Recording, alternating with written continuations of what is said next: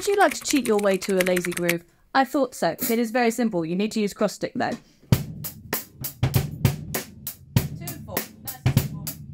But you're going to flam on two and four with the other stick. What you're going to do then, keep the bottom stick in time on two. So you're going to delay a lot with this hand. Practically in another time zone.